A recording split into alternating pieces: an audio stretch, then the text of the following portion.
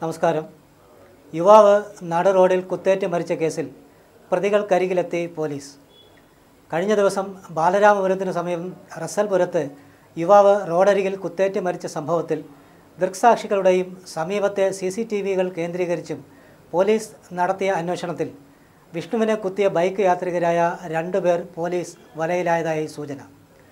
ഞായറാഴ്ച രാത്രിയാണ് കിളിമാനൂർ സ്വദേശിയായ വിഷ്ണു റസൽപുരം ബെവ്കോ ഗോഡൌണിന് സമീപത്തെ റോഡിൽ ബൈക്കിലെത്തിയ രണ്ടംഗ സംഘത്തിന്റെ കുത്തേറ്റ് മരിച്ചത്. സമീപത്തെ സ്വകാര്യ സ്ഥാപനത്തിലെ ജീവനക്കാരനായ വിഷ്ണു രാത്രി സുഹൃത്തിനൊപ്പം ബാലരാമപുരത്തെത്തി ഭക്ഷണം കഴിച്ച് മടങ്ങവെയാണ് സംഭവം. റോങ് സൈഡിൽ വാഹനം ഓടിച്ചു വന്നതിനെ ചൊല്ലിയുള്ള തർക്കമാണ് കൊലപാതകത്തിൽ എത്തിയതെന്നാണ് സൂചന. കൊലയ്ക്ക് പിന്നിൽ മറ്റെന്തെങ്കിലും കാരണങ്ങളുണ്ടോ എന്നും പോലീസ് അന്വേഷിക്കുന്നുണ്ട്.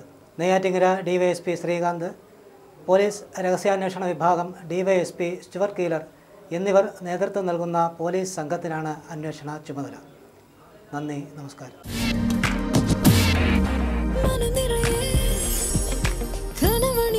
കൈരളി ജ്വല്ലേഴ്സ് വർക്കല കല്ലമ്പലം പേരൂർക്കട തിരുവനന്തപുരം.